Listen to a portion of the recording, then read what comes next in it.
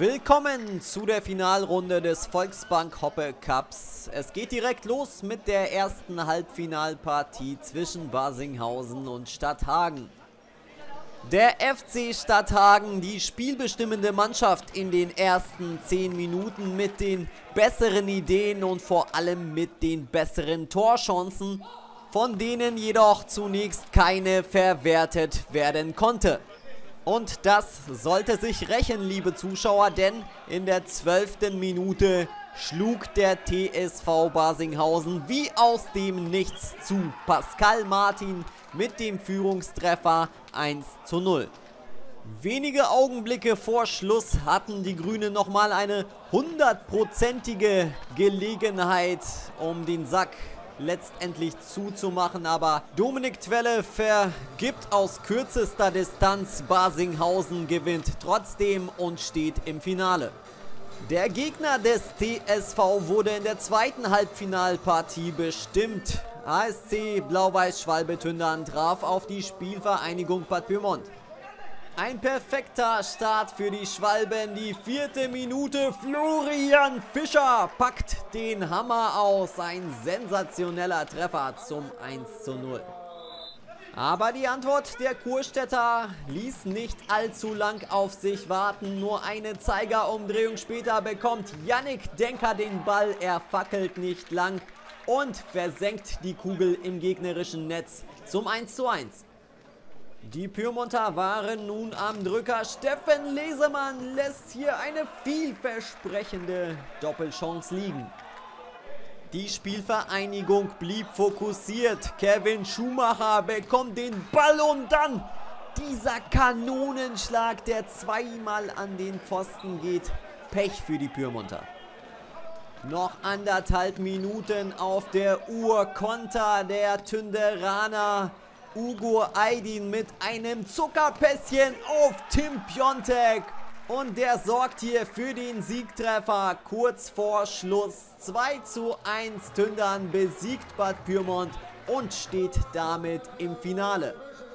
Beim 9-Meter-Schießen um den siebten Platz besiegte Germania Hagen die TSG Emmertal. Das 9-Meter-Schießen um den fünften Platz konnte Eldachsen für sich entscheiden. Der Gegner hieß dabei SG Hameln 74. Weiter geht's mit dem Spiel um Platz 3 zwischen Stadthagen und Bad Pyrmont und das hatte es wirklich in sich. Kevin Schumacher eröffnet diese torreiche Partie mit dem Treffer zum 1 zu 0. Ibrahim Kodir sorgt kurze Zeit später für den Ausgleich auf der anderen Seite 1 zu 1. Und der Mann mit der Nummer 10 war auch für den zweiten Treffer des FC Stadthagen verantwortlich 2 zu 1. Ein offener Schlagabtausch, ein unterhaltsames Match. Steffen Lesemann mit einem beeindruckenden Solo und dem Ausgleich 2 zu 2.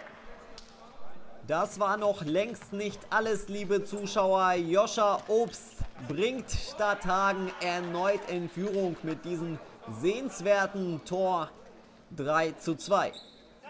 Aber auch darauf fanden die Kurstädter die passende Antwort. Benedikt Hagemann 3 zu 3. Noch knapp zwei Minuten auf der Uhr und da geht die Spielvereinigung in Führung.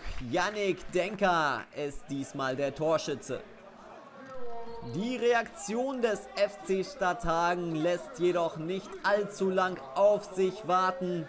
Joscha Obst markiert hier den Schlusspunkt 4 zu 4. Das Ganze musste also im 9-Meter-Schießen entschieden werden. Hier konnte sich der FC ganz knapp durchsetzen. Das Endergebnis 8 zu 7. Stadthagen steht damit auf dem dritten Platz. Und dann gab es eine Neuauflage des letztjährigen Finales. Das Endspiel zwischen Basinghausen und Tündern. Wir steigen ein in der achten Minute. Davor neutralisierten sich die beiden Teams weitestgehend. Ugo Aydin, spitzer Winkel, doch das ist ihm egal. Die Führung für Tündern 0 zu 1. Ecke für Basinghausen. Zwei Minuten später Alexander Wissel mit dem Ausgleich 1 zu 1. Und Basinghausen wirkte nun entschlossener in den letzten vier Minuten. Dominik Twelle mit der Vorarbeit für Dennis Merkens 2 zu 1. Die Grünen wollten sich hier für die Finalniederlage im Benze Cup revanchieren. Janis Wittkohl erhöht auf 3 zu 1. Tündern brach jetzt ein und Basinghausen spielte sich in einen Rausch. Robin Abraham packt noch einen drauf. 4 zu 1 und es wurde noch deutlicher. Jannis Wittkohl sorgt mit seinem zweiten Treffer für diesen klaren Finalsieg des TSV Basinghausen. 5 zu 1. Basche gewinnt den diesjährigen Volksbank Hoppe Cup. Glückwunsch dazu. Das war's von mir, liebe Zuschauer. Tschüss und bis bald.